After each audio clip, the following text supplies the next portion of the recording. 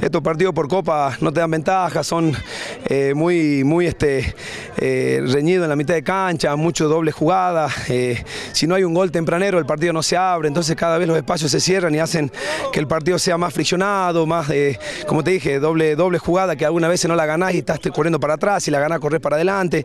Pero bueno, eh, creo que el equipo se sostiene porque tiene convicciones, sabe a qué juega, tenemos que mantener un orden. Hoy por hoy no tenemos jugadores destellantes como teníamos en la temporada pasada, que de mitad para arriba hacía mucha diferencia, pero el equipo está sólido, está bien, hemos venido pasando etapa por etapa y bueno, eh, ojalá que el 14 también digamos presente en esa cancha importante. ¿no? Sebastián, el fútbol da revancha, ¿no? Sí, sí, la verdad que sí. Nosotros eh, ya hace eh, un año y medio que estamos acá en Atlético y, y como le decía el otro día a los muchachos, venimos haciendo un esfuerzo muy grande, nos reciclamos día a día con la, con la ida de los jugadores, se nos fue Ponce, Romero está lesionado, Roldán no puede jugar, Carabajal se fue a Gimnasia Cucuy, o sea, cada uno va aportando lo suyo en el momento que está y después nos reciclamos.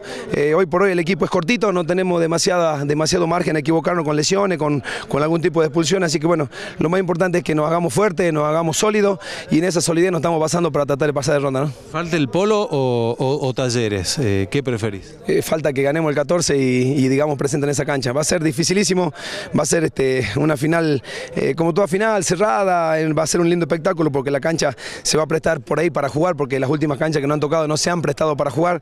Pero bueno, no hay que poner excusas, en me enseñaron que eh, a las excusas no hay que, hay que enfrentarlas, al, acomodamiento pronto, el jugador inteligente se tiene que acomodar rápido, el equipo inteligente se acomoda rápido lo que juega, se acomoda rápido el terreno, se acomoda el tiempo. Eh, entonces yo creo que el equipo se va acomodando día a día lo que juega y bueno, ojalá que en los dos frentes, porque estamos en liga para, para, para pelearla y estamos también para final esta, en esta copa, ¿no?